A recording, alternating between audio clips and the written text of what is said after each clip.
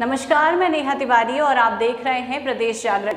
सुशांत सिंह राजपूत मामले में drugs connection सामने आने के बाद एनसीबी यानी नारकोटिक्स कंट्रोल ब्यूरो लगातार कार्रवाई कर रही है। रिया चक्रवर्ती और उनके भाई शौविक चक्रवर्ती समेत अब तक छह लोगों को गिरफ़्तार किया जा चुका है। इसी के साथ पूछताछ में रिया चक्रवर्ती ने सारा अली खान और एक और एक्ट्रेस का नाम लिया था। इसी के साथ पता चला है कि रिया चक्रवर्ती ने 25 और लोगों के नाम लिए हैं, जिन पर एनसीबी की नज़र लगातार बनी हुई है।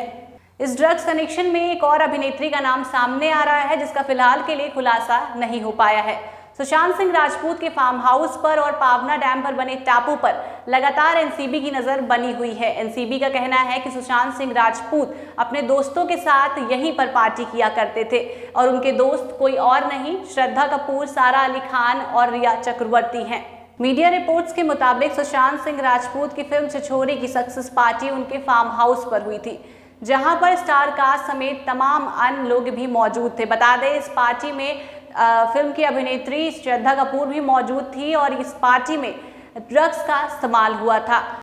बताया जा रहा है कि ये सभी दोस्त मिलकर पावना डैम पर बने टापू पर लगातार कुछ कुछ दिनों में पार्टीज़ के लिए जाया करते थे, जिसके बाद से अभी पता चलने के बाद एनसीबी लगातार इन बातों का ध्यान में रखते हुए उनके पावना डैम पर बने टापू पर और उनके फ्लैट पर नज़र रखी हुई है।